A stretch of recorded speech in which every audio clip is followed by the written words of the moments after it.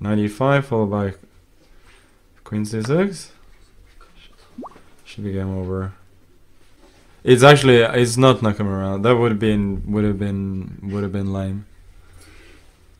There's a streamer who calls out every move that he plays. Like that's the whole commentary. Like um, if he does, he like when he makes a move, he always calls out the move, and then he says, "If he takes, I'll take."